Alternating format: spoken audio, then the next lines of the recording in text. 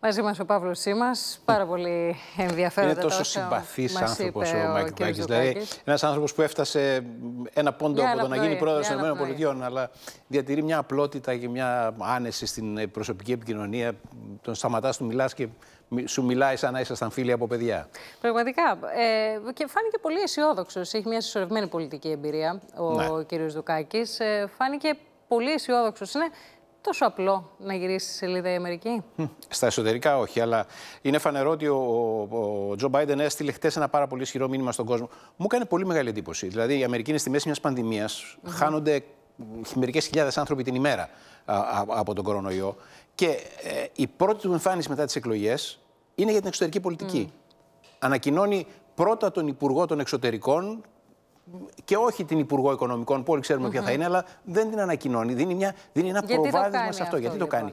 Λοιπόν; Θέλει να στείλει πολύ γρήγορα ένα πολύ ισχυρό μήνυμα στον κόσμο. Στους συμμάχους της Αμερικής, οι οποίοι τέσσερα χρόνια ήταν στο ψυγείο, ήταν mm -hmm. εντελώς αγνοημένοι, από σύμμαχοι είχαν μετατραπεί σε αντιπάλους. Ότι επιστρέφουμε. Ε, επιστρέφουμε. Η Αμερική mm -hmm. επιστρέφει. Αυτό θέλει να είναι το μήνυμα.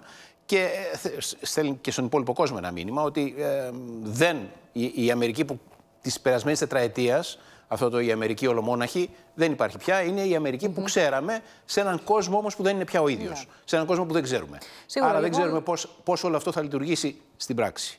Η επιλογή αυτή έχει έναν πολύ έντονο συμβολισμό, έχεις απόλυτο δίκιο. Ε, δεν έχει ανακοινώσει του υπόλοιπου, τους ξέρουμε όμως τους περισσότερους. Και ναι. εκεί ε, δίνει ένα έντονο στίγμα. Ναι. Νομίζω ότι ε, ε, έχει, έχει μεγάλη σημασία το ότι στην πρώτη του εμφάνιση, μετά τις εκλογές, ε, στην πρώτη του κίνηση από τότε που άρχισε η διαδικασία της μετάβασης και συνεπώς είναι πια και τυπικά mm -hmm. ο επόμενος πρόεδρος, επιλέγει την εξωτερική πολιτική για να ασχοληθεί. Τώρα, τι θα αλλάξει στην πράξη, ένα θέμα είναι τι θέλει ο νέος πρόεδρος, τι θα επιδιώξει. Ένα πράγμα είναι τι θα, γίνει, τι θα συμβεί στα αλήθεια. Αλλά έχουμε τα μηνύματα. Ξέρεις, όλα τα think tank του κόσμου και όλες, ιδιαίτερα στην Τουρκία αυτές τις μέρες, αν ε, παρακολουθήσει τις εσωτερικές συζητήσεις, ξεψαχνίζουν λέξη-λέξη ό,τι έχει πει ο, το, ο Τόνι Μπλίνκεν και ο νέος ε, υπεύθυνος εθνικής ασφαλείας, ο, Τζα, ο Σάλιβαν, τι έχουν πει τον τελευταίο χρόνο, λέξη-λέξη, για να προσπαθήσουν να μαντέψουν τι θα κάνουν, ειδικά στην περιοχή μας.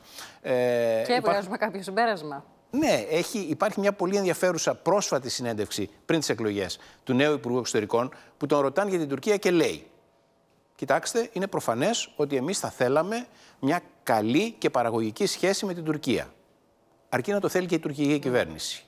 Αυτό είναι ένα μήνυμα ότι έτσι όπως είστε δεν προχωράμε. Κάντε κάτι.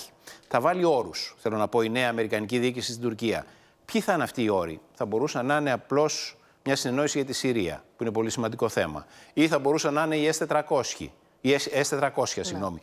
Θα μπορούσε να είναι κάτι που αναφορά και την Ελλάδα και την Κύπρο; Δεν θέλω να είμαι υπερβολικά αισιόδοξος. Αλλά είναι φανερό ότι εάν ο Ερντοάν προσαρμοστεί και στείλει ένα μήνυμα, και η νέα Αμερικανική διοίκηση θα έχει μια ανταπόκριση. Όχι στο στυλ Τραμπ, όχι στο στυλ είμαστε φιλαράκια και μιλάμε από την πίσω πόρτα. Θεσμικά πλέον. Θεσμικά.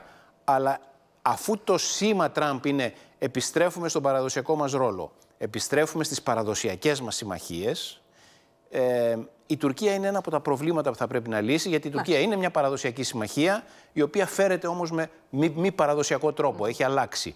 Ε, έχει πολύ ενδιαφέρον να δούμε ποια θα είναι τα πρώτα, τα πρώτα μηνύματα που θα ανταλλαγούν ανάμεσα στην καινούρια Ουάσιγκτον και την Άγκυρα. Σε ευχαριστούμε πολύ, Παύλο.